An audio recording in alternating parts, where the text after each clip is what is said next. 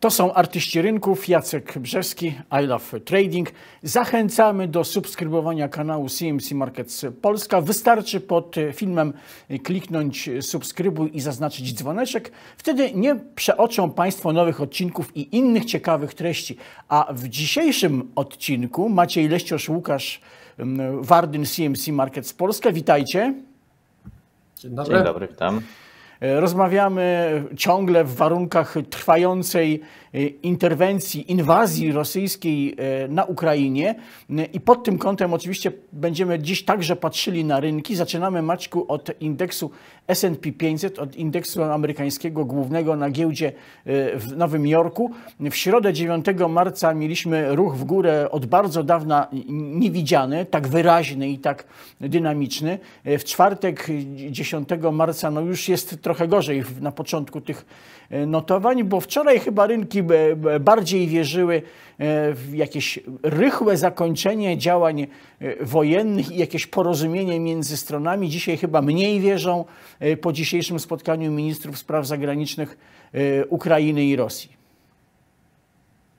Tak, natomiast no, sam rynek amerykański nie jest tak wrażliwy na zawarania geopolityczne, z którymi mamy do czynienia w tym momencie, jak inne rynki tutaj bliżej nas, e, również rynek polski. E, w dalszym ciągu jednak Amerykanie w dużej mierze zwracają uwagę na to, co będzie się działo z polityką monetarną, oczywiście pośrednio konflikt zbrojny poprzez e, swój wpływ na wycenę surowców, a tym samym na inflację, ma też wpływ właśnie na to, czego E, oczekują, jakie są oczekiwania względem choćby polityki monetarnej Stanów Zjednoczonych, która cały czas w kontekście e, jeszcze hossy jest, jest kluczowa, tak? bo tutaj to jest ten czynnik, który e, w pewnym momencie weźmie zdecydowanie górę, no i tutaj możemy zobaczyć zejście na poziomy krytyczne, zresztą na wielu indeksach już się zbliżyliśmy do poziomów bliskich, weź choćby na Nasdaqu, na S&P 500 jeszcze nie, no ale e, jest oczywiście to wszystko potencjalnie przed nami, zobaczymy jak odległa przyszłość, bo co chwilę pojawiają się inne czynniki, które jednak sprawiają, że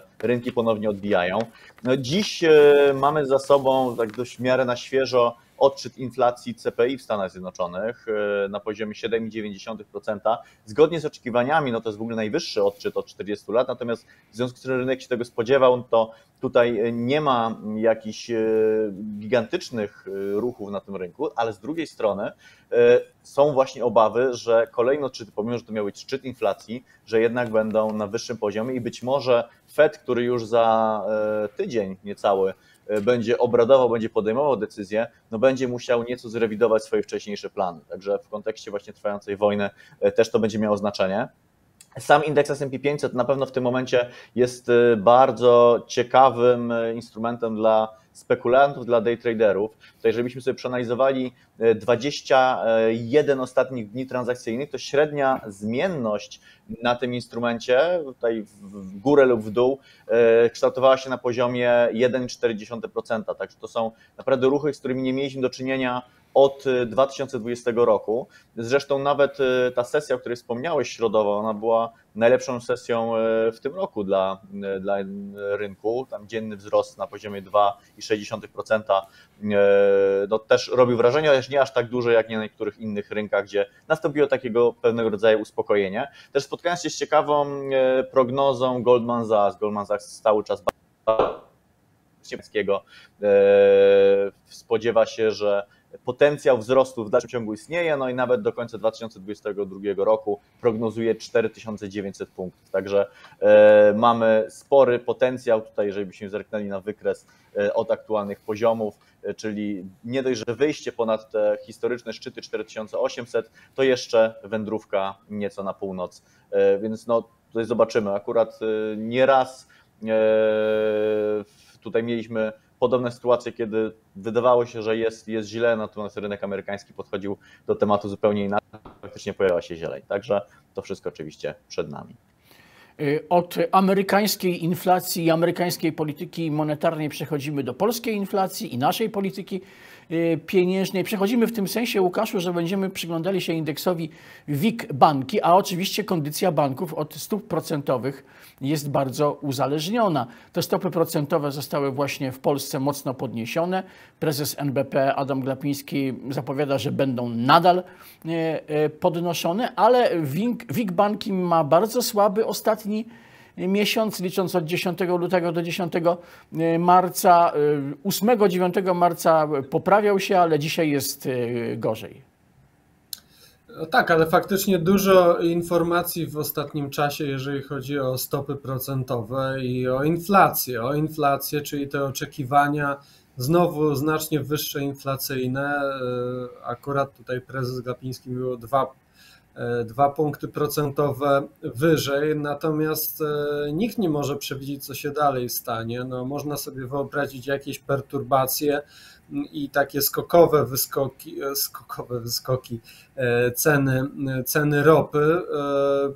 No bo pamiętajmy o tym, że rynki surowcowe to nie są rynki akcyjne. Tutaj nie dyskontuje się aż tak bardzo tego, co się będzie działo za 6, za 9 miesięcy, a czy, czy w ogóle lata. Wiemy przecież o tym, że e, Wiemy przecież o tym, że tutaj no, w Unii Europejskiej będą różnego rodzaju działania e, prowadzące do tego, żeby się uniezależnić od tego e, importu z Rosji. Na rynkach surowcowych ważne tu i teraz więc nawet ta prognoza, że inflacja będzie w kraju o, o 200 punktów bazowych znowu wyższa, no może być o, o jeszcze więcej, więc to jest pierwsza kwestia.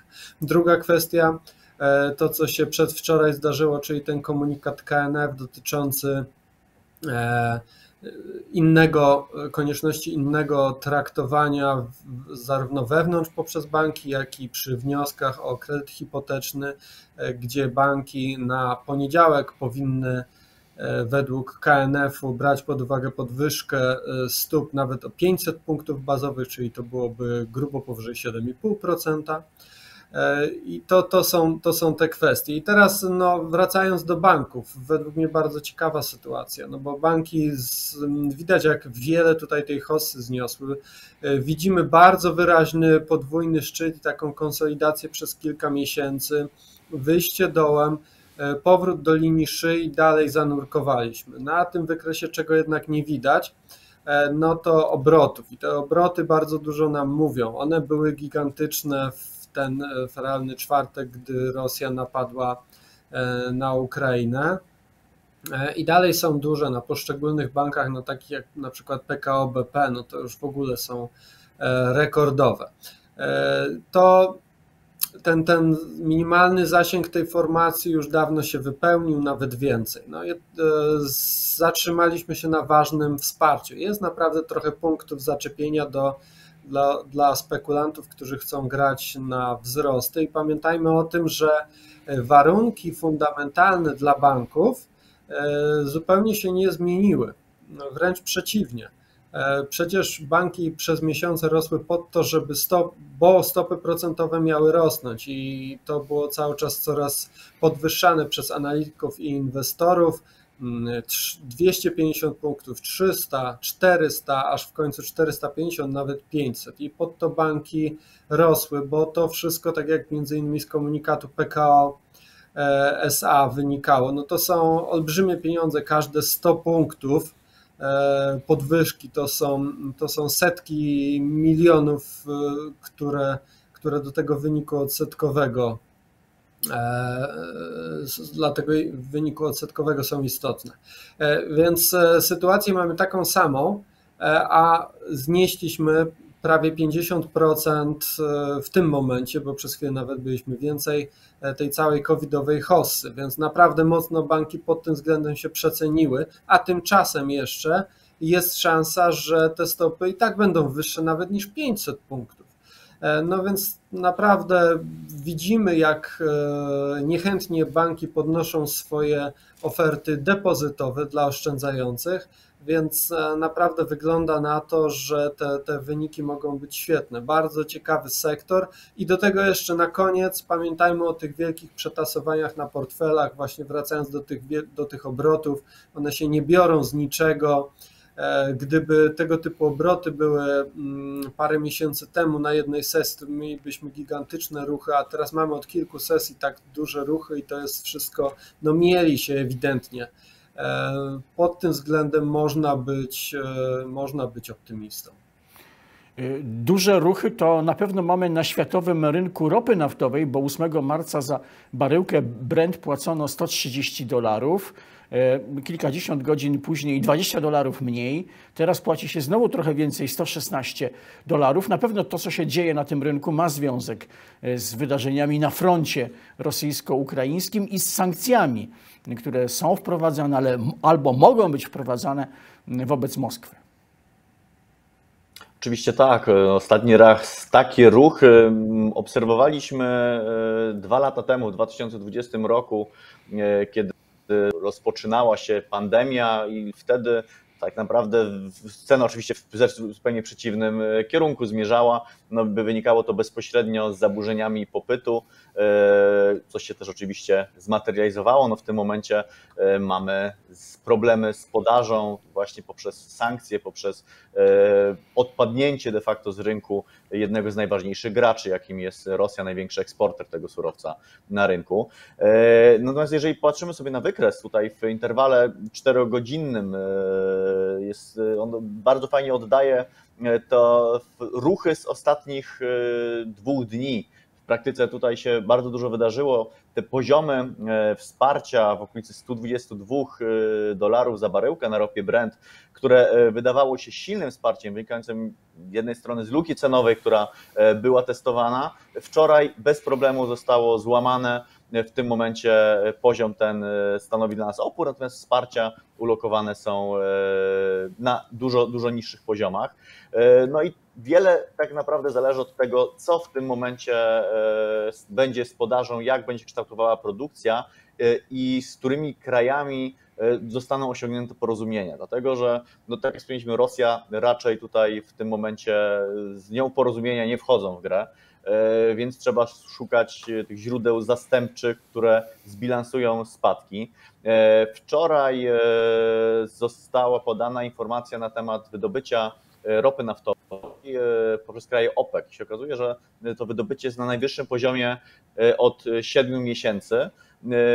Poziom 560 tysięcy baryłek o tyle wzrosło względem poprzedniego miesiąca. Ja zresztą kiedyś wspominałem, to było chyba dwa lub trzy tygodnie temu, Y, o tym, że OPEC nie wywiązuje się i tak z tych swoich planów codziennej, codziennego wzrostu wydobycia o 400 tysięcy baryłek. Natomiast no tutaj e, te dane świadczą, że kolejne właśnie już takie zbiorcze e, mogą świadczyć, że wywiązuje się, że, że ta sytuacja jest osiągnięta, że ten poziom e, docelowy jest osiągnięty.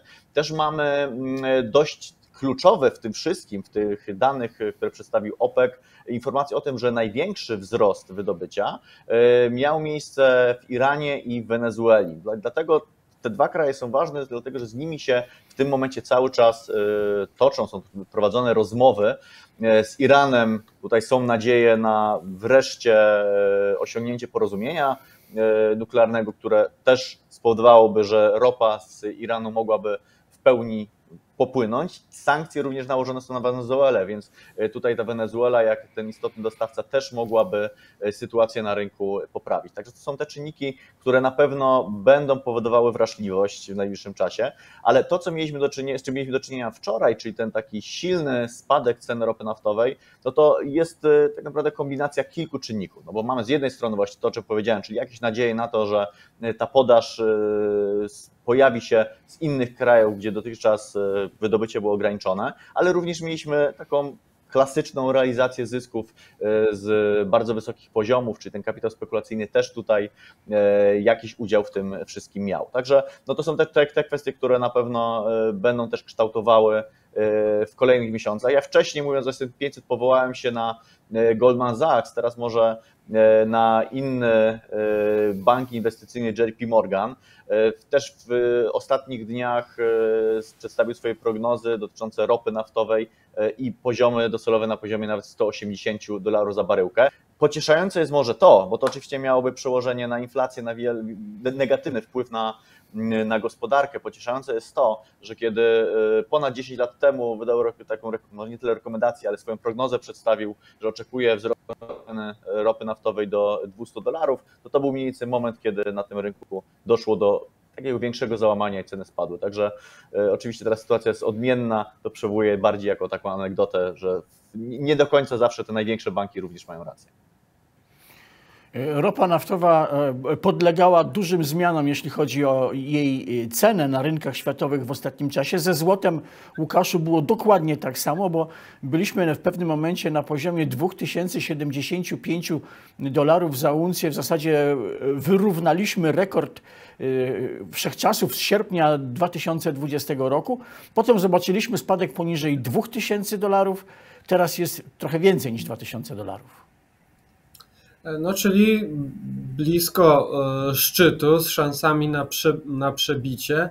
E, I trzeba cały czas obserwować. Ten trend e, nie jest jakiś bardzo dynamiczny, no ale, ale jest, bo zeszliśmy 1990, trochę bardziej te okolice, więc no, cały czas jeszcze, jeszcze ten trend się trzyma jak najbardziej. No i tak myślę, że w przypadku wielu surowców te zmiany mogą być bardziej dynamiczne e, góra-dół i może być taka sytuacja, że na wiele e, tygodni przed zakończeniem e, jakimś tego konfliktu zbrojnego sytuacja się wyjaśni i nie będziemy już widzieli nowych szczytów.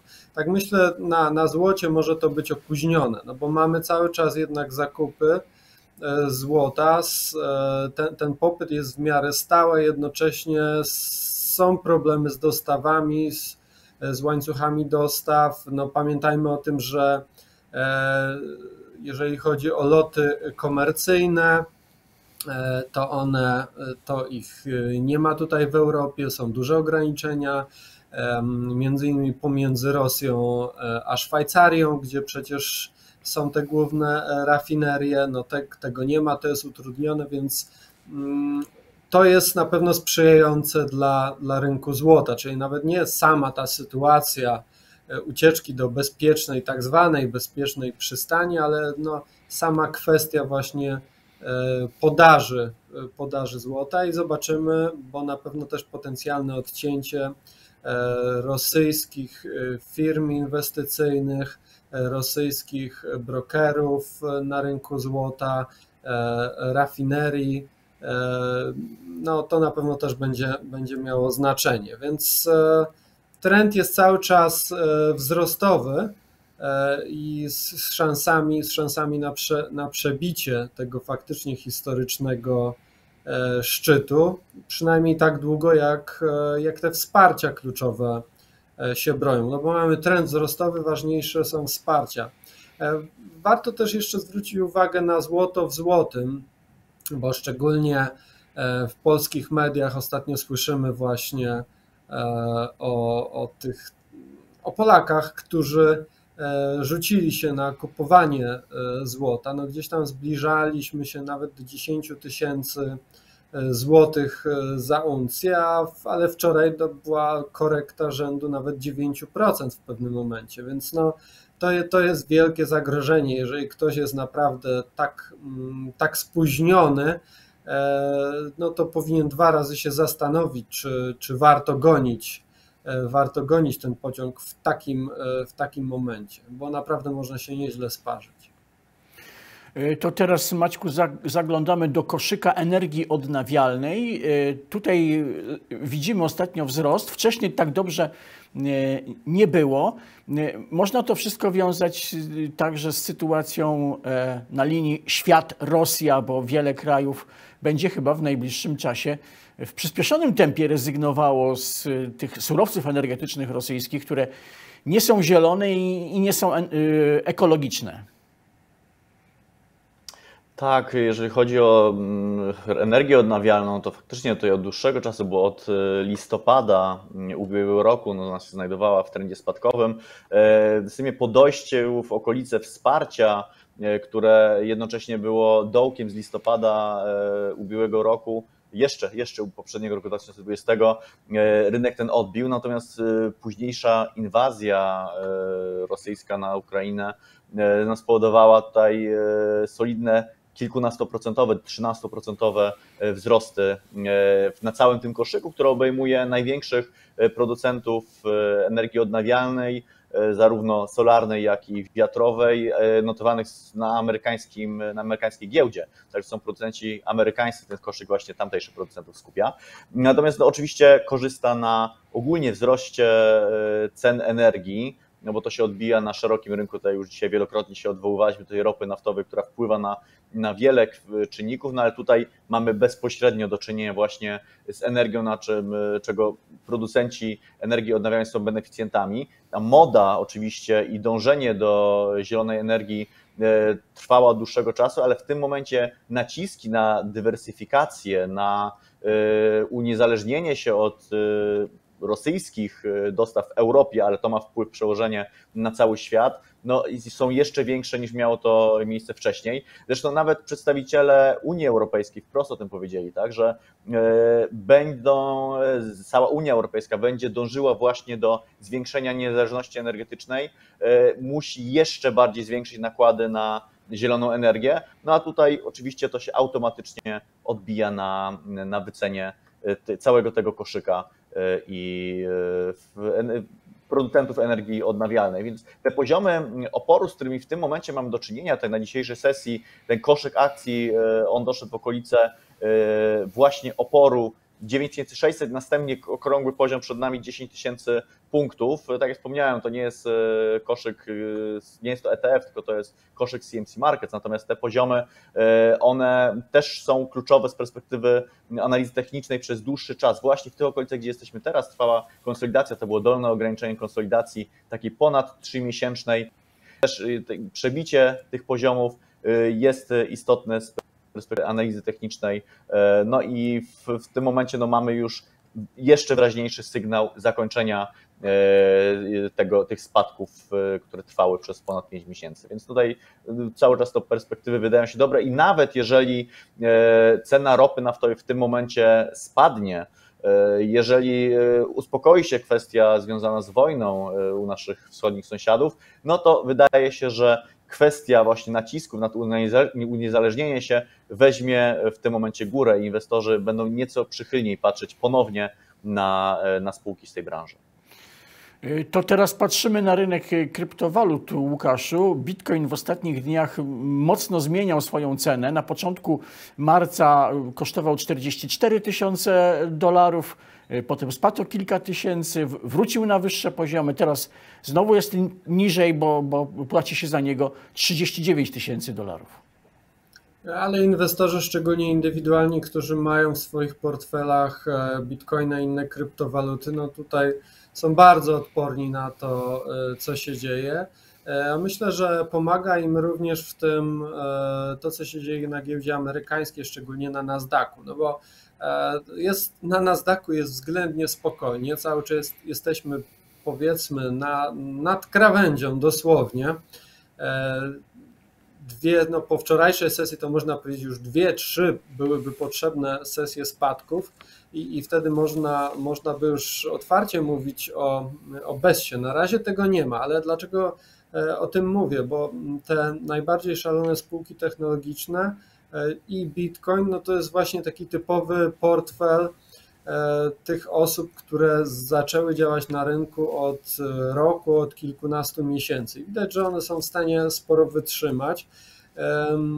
Spadły bardzo obroty na rynku kryptowalut. To widać po wynikach wielu firm, które zajmują się obrotami krypto, e, które zajmują się E, udostępnianiem obrotów na, e, i działania na kryptowalutach i te obroty tam bardzo spadły.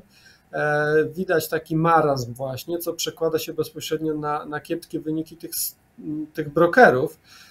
no to też pokazuje właśnie taką wstrzemięźliwość inwestorów. Oni nie chcą działać, nie chcą też dokupywać w tym momencie, no ale to prowadzi do tego, że kurs jest bardzo stabilny. Jest to według mnie e, zaskakujące.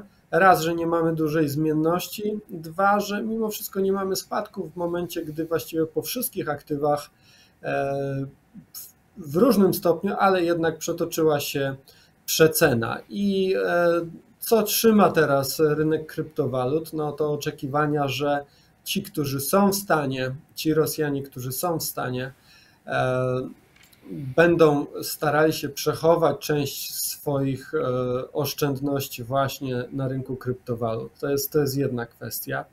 A ja mam dość duże wątpliwości. Oczywiście ci najbogatsi pewnie tak. E, natomiast no, zwróćmy uwagę na to, jak Rosja zareagowała, by chronić rubla różnego rodzaju ograniczeniami. Wcześniej czy później mogą się pojawić takie ograniczenia na rynku e, kryptowalut. E, mówimy o, o potencjalnym odłączaniu różnego rodzaju serwisów. Mówi się o tak no, bardziej w przekazie takim medialnym o odłączeniu internetu.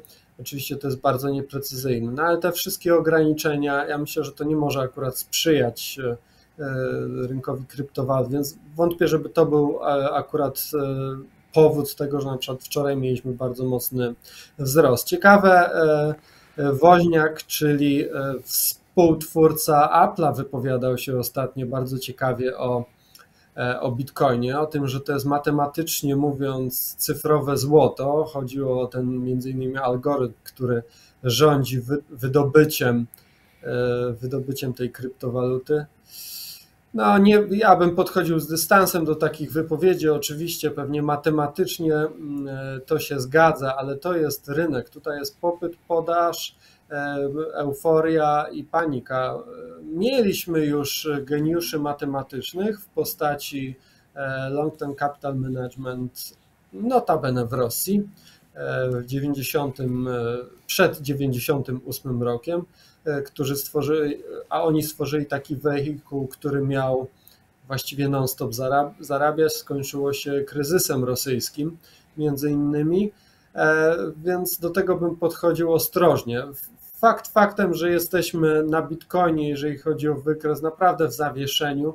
Szeroki trend horyzontalny, wyczekiwanie. W tym trendzie horyzontalnym zwróciłbym na to, że te obroty są naprawdę, e, naprawdę niewielkie, więc e, wkrótce, tym bardziej, że to jest Bitcoin i kryptowaluty, e, powinno coś się wydarzyć, ale teraz jesteśmy, widać na tym wykresie idealnie, jesteśmy w, w środku całego zasięgu.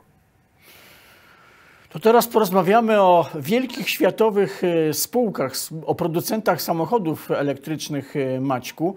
Jak patrzymy na notowania Tesli e, Ilona Maska, to widzimy, że za jeden walor Tesli jesienią zeszłego roku płacono ponad 1200 dolarów, teraz 850. Ale amerykański konkurent Tesli, czyli spółka Rivian Automotive, która debiutowała na giełdzie w listopadzie zeszłego roku, też dobrze się nie prezentuje. Cena dzisiejsza jest dużo niższa od tej jesiennej, no a marzec dla, dla spółki jest wyjątkowo nieudany. No, jeżeli może zaczniemy od sobie. No, patrząc na wykres, e, ta spółka, ona od debiutu utrzymuje się w kanale spadkowym e, i tutaj w zasadzie nic w tym momencie nie, nie pomaga tej spółce. E, wsparcia, który e, był przez jakiś czas broniony,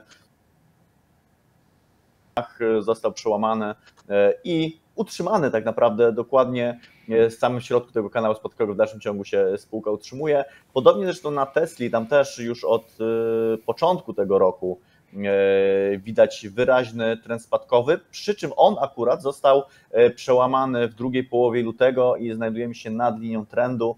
E, i ten, ta, ta linia trendu faktycznie w tym momencie e, stanowi istotne wsparcie e, i za każdym razem tutaj pomimo prób testowania i zejścia poniżej się broni cała ta, ta linia trendu jest, broni, broni notowania Tesla, ale znowu tutaj się odwołam dzisiaj, bo praktycznie to temat, to mówimy o ropie naftowej, no ale nie sposób tutaj w kontekście spółek produkujących samochody elektryczne, czyli właśnie dążące do tego, że odejdzie się od ropy naftowej, żeby nie wspomnieć o tym, że może to w tym momencie być z punktu widzenia sprzedaży tych samochodów też okres żniw, dlatego że konsumenci widząc ceny na stacjach benzynowych, cena benzyny w Stanach Zjednoczonych y, przekroczyła 4 dolary, 4,20 za, za galon, to jest najwyższy poziom od 2000 y, roku, czyli od ponad E, no, od, od 22 lat niemalże. Więc e, jest e, no, sytuacja taka, jak obserwujemy w Polsce. U nas mamy już w ogóle historycznie najwyższe ceny na, na stacjach paliw, ale to wynika między innymi ze słabości polskiego złotego, no ale to jest temat poboczny. Ale generalnie w tym momencie wydaje się, że sprzedaż będzie rosła. Dlaczego w takim razie inwestorzy nie wyceniają tej potencjalnie dobrej przyszłości? Otóż wraz ze wzrostem potencjalnej sprzedaży bardzo mocno rosną koszty.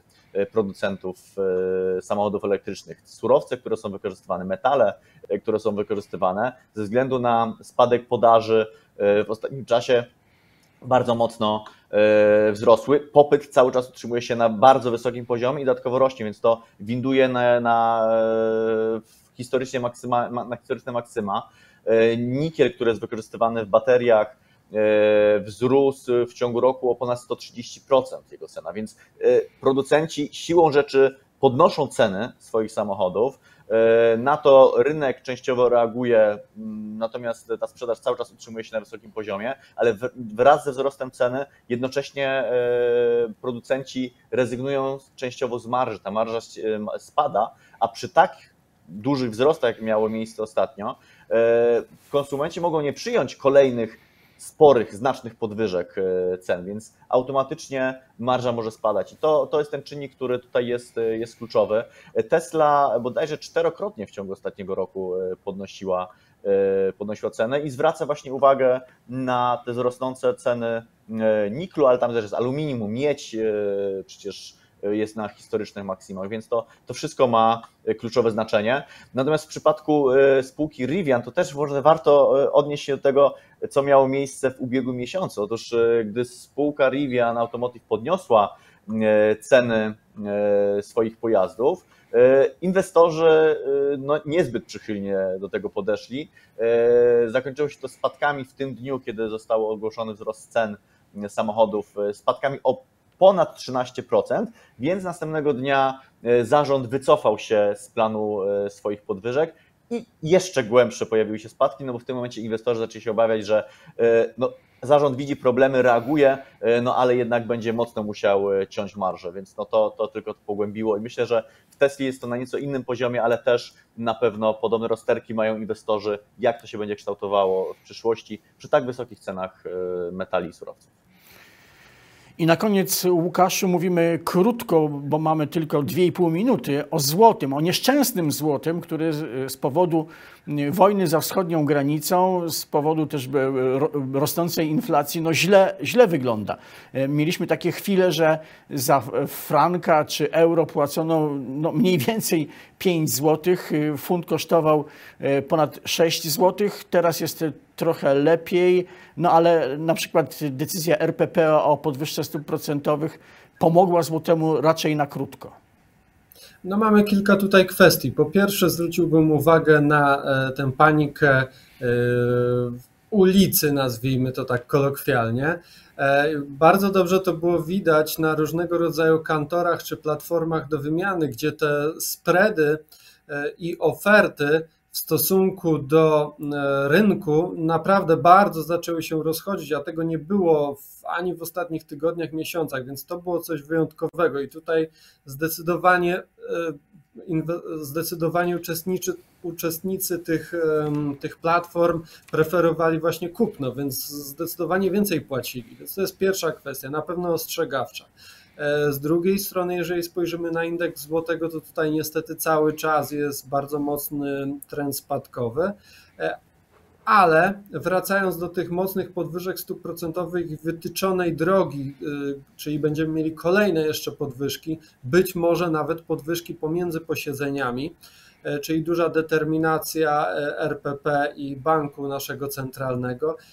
Na razie jest panika na rynkach. Inwestorzy się boją, boją się ryzykownych aktywów, za takie uważają złotego. Natomiast przypomnijmy sobie i zwróćmy uwagę na to, jak wygląda wykres korony euro, czeska korona. No, tamte wysokie stopy procentowe i regularne podnoszenie ich powodowało naprawdę duże przyciąganie inwestorów zagranicznych. Jeżeli uspokoi się na rynkach, no to naprawdę złoty będzie w tym momencie bardzo atrakcyjny. Tylko musi się skończyć e, ta panika, ten popłoch. O sytuacji na rynkach, sytuacji złotego, surowców, e, niektórych spółek e, mówili Łukasz Wardyn, Maciej Leściosz, CMC Markets. Dziękuję Wam bardzo za rozmowę. Dziękuję. E, to wszystko w programie Artyści Rynków. Następny odcinek z tego cyklu w czwartek 17 marca. Jacek Brzeski, I Love Trading. Do zobaczenia.